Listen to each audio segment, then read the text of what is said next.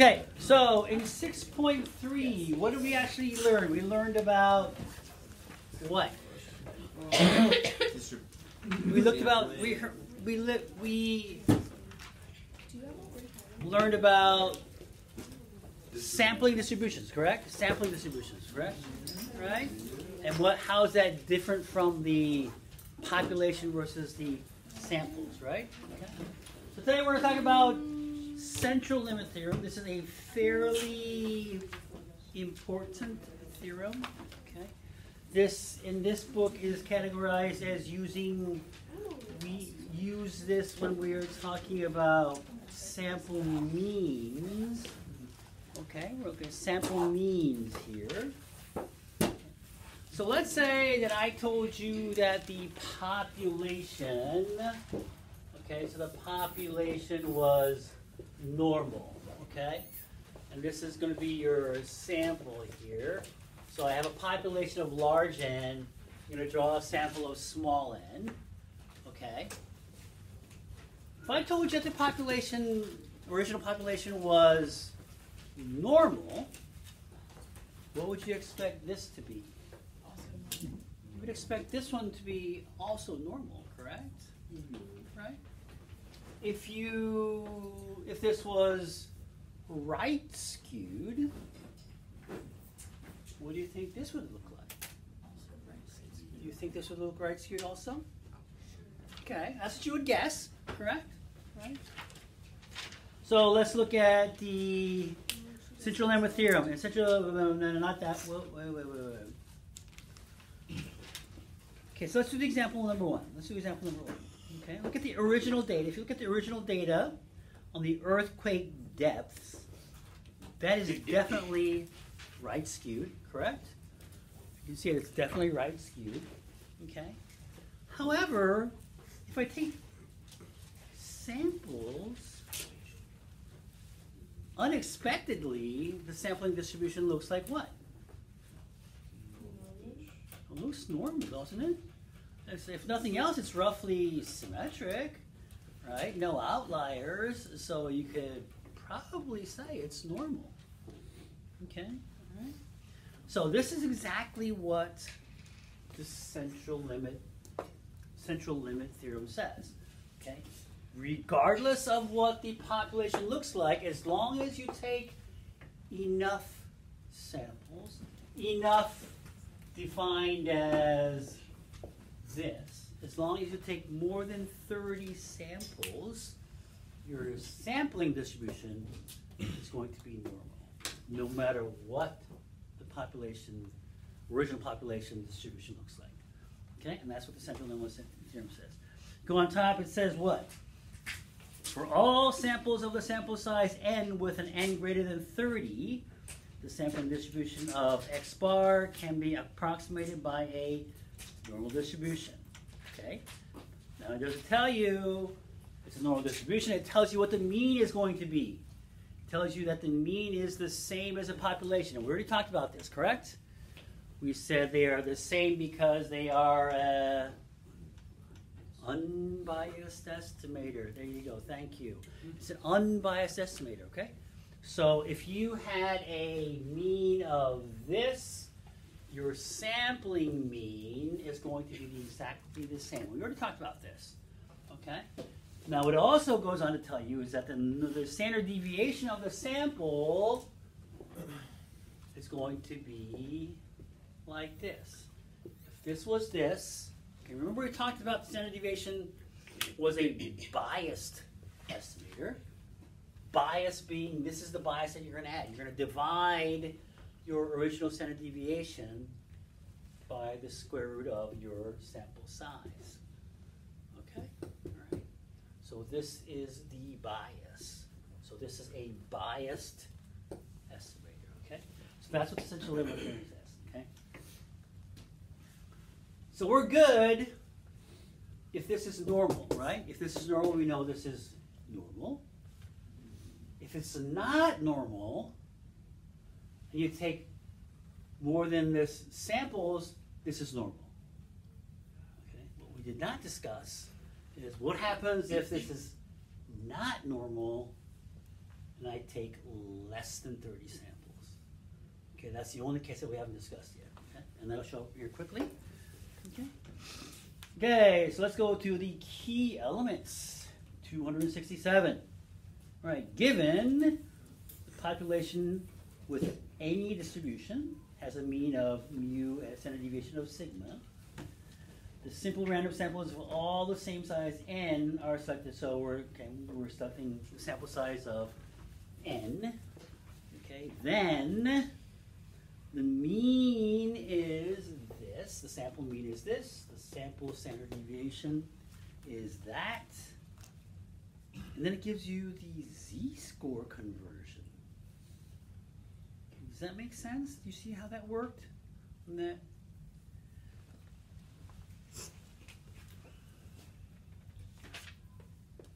it was this, right? Because this is a standard deviation, right? And this is this, which is the same as this, right? Okay, so if I do this, okay, this is kind of a misleading, all right? Because you're going to have several different X bars, right, in your sampling distribution, correct? We talked about that, right? So we are going to have several different ones. Remember we did samples and we stacked them together. We said it was normal. So this X here is one of these. So it doesn't matter which one, right? So I'm trying to find the z-score of that specific sample's mean. You understand that? Okay, this is not easy.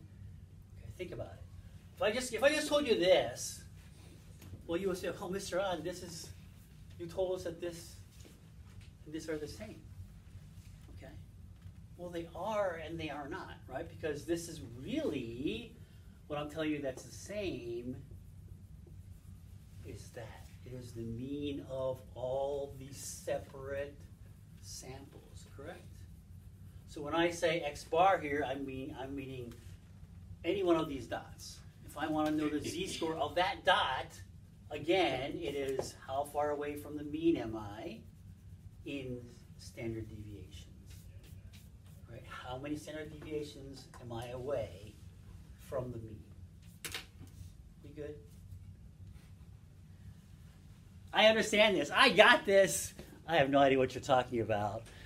I somewhat. Where are we at? Show of thumbs, please. Tell me where you are so I can. I want to know if I can move on or not. Okay, I cannot move on yet. Okay, so. Remember when we were doing the homework in 6.3, right? In 6.3, we had 4, 5, and 9. Remember that question? We had the 4, 5, and 9? right? We had the 4 5 and 9 and we did. We said, what was the population mean? And you guys said, okay, well, we'll add the three together, divide it, and we said it was six.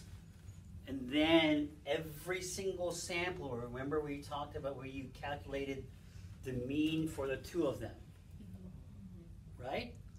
So this is what these things are. That is what you calculated each sample's mean.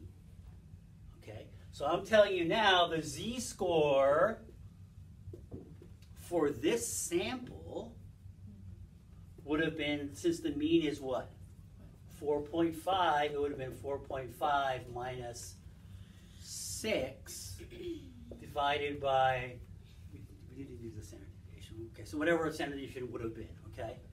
This guy and this guy. This is, so that's, that's what I'm telling you. This is what the z-score is what they're telling you it is, mm-hmm. right? For that sample, right? There, there were several different samples, right? If I did like nine and nine, right, it would have been what? My mean for this would have been nine, correct? Nine minus, this is the sample mean, six, and you so on and so forth. Does this make more sense now? We better? Okay, all right. Okay, good, good, good. So that's that. That's that middle of the, that's what the practical rule is, okay? Considerations for the practical problem solving. Number one, check requirements. What are the requirements here? What's the first one? Okay, you have to have a random sample, right? When working with a mean from a sample, that's not it. What does it say? Working with the mean from a sample, verify that the normal distribution can be used by confirming the original population has a normal distribution or the size is greater than 30, okay? Either this is, so th- these are the two things that we know, right? If this is normal, we're good. If it's not normal, if we're good here, then it's normal. Okay?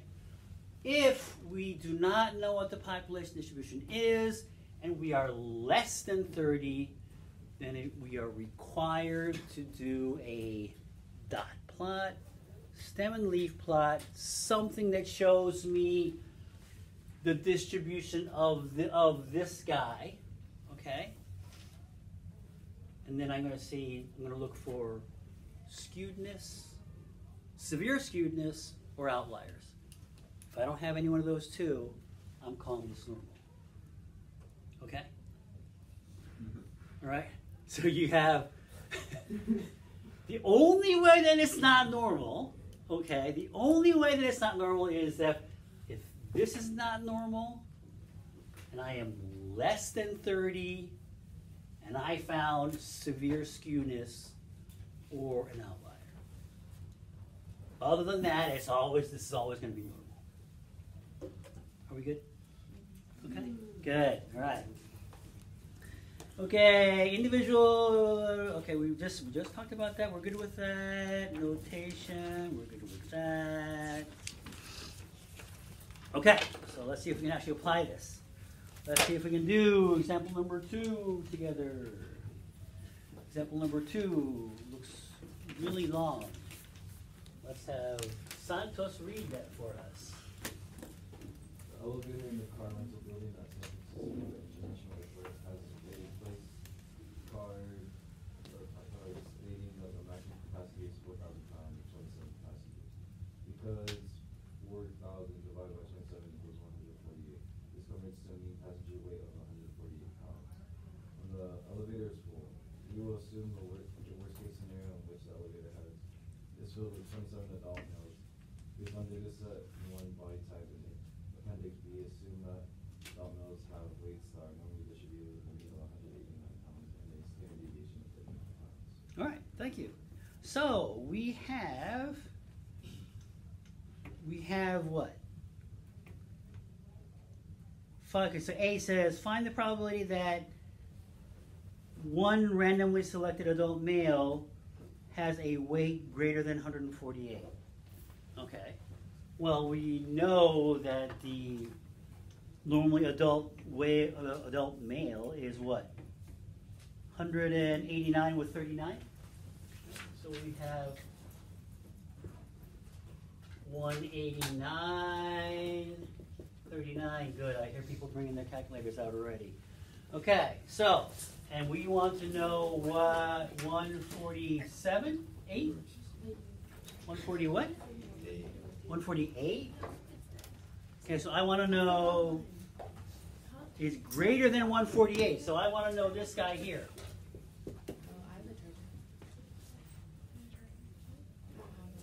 Sam, how would I do that with my calculator? Norm C. Norm CDF, yes. So I would do norm CDF, lower level, lower limit would be 148. 148. High limit would be 1000. 1,000. Yeah, sounds, sounds good. 189 and Oh, 39. Run the numbers. Who did we get? What do we get? We got 85%. Everybody got 0.85? 0.85? 0.85. Okay.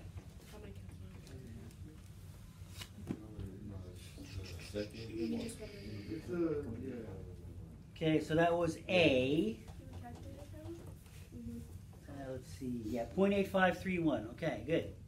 So B, find the probability that a sample of 27 randomly selected adult males has a mean weight greater than 148. So in this one, now we're going to do, this is the sample. What's my mean here? 189. it would be the same, right? Why? Cause it's all. It's unbiased estimator, right? It's an unbiased estimator. 189. Okay, what's the sigma here? What's my standard deviation for this one? Thirty-seven point five one. How would I calculate it? Thirty-nine. I would take the 39, right? I have the 39. I would divide it by the square root of my sample size, which was what? 27. And if I run this, I get 7.51. 7.51. So now, again, I'm doing the same thing here, right? 148. What's my norm CDF numbers? One forty-eight. One, okay, norm CDF, one forty-eight, One thousand. one thousand, One eighty-nine. one eighty-nine, everything's the same except for Seven point five. seven point five one. So you would expect this to be, this to be greater than this or smaller than this? Greater. Why? Cause it's close. Because the standard deviation is small, is smaller, which means it is much more less. packed, right in the middle. So you'd have a much greater prob- possibility here of being greater than one forty-eight. Mm-hmm. And if you run the numbers, what do you get? Let's just say one. Whoa, point nine nine nine nine. Just like you said, exactly, just about one, right? Everybody is going to be greater than that. Okay? All right. Oh, do, do, do, we are good there. Okay. And we will stop right here today.